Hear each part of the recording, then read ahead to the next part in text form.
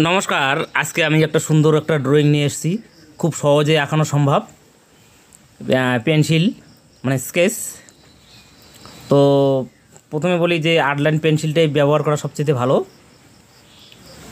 অনেক সময় আর্ট পেপারেও করা যায়। তো আমি আর্ট পেপারের পরিবর্তে এবার এ ফোর সাইজ কাগজ, যেটা আমরা জেরক্স কপি হিসেবে ব্যবহার করি।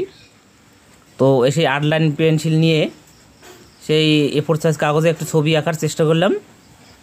স্কেচ, পেন্সিলে, কোনো দাগ ছাড়া। তো খুব সুন্দরভাবে করা যায় একটা নেচার।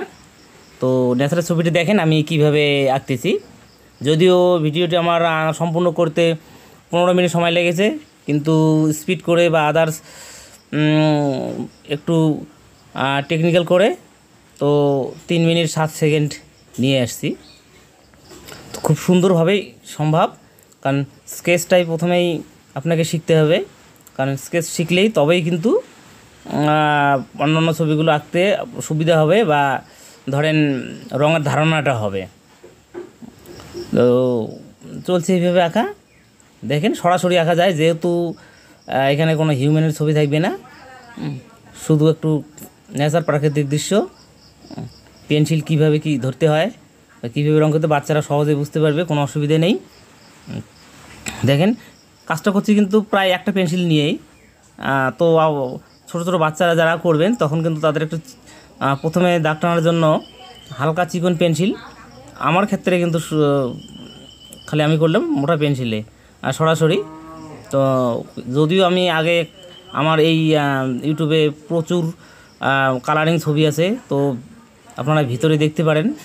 তো যাই হোক, ব্যাপারটা হচ্ছে যে পেন্সিল স্কেচ যে সেটা একটু যাতে মানে সহজে বাচ্চারা দেখ- আঁকতে পারে। হুম, তো সেই জন্যেই এখন শেষ করা। প্রতিনিয়ত আমি একদিন পর পর আমার ইউটিউবে এই স্কেচ বা মাঝে মাঝে দু একটা কালার পেন্টিং আপলোড করি। তো দেখতে থাকেন, সুন্দর একটা স্কেচ ছবি। এই যে হালকা করে দাগ দিলাম। দাগ দেওয়ার পরে উপরে দূরের যে জঙ্গল, সেটা একটু ডিপ ডিপ করে।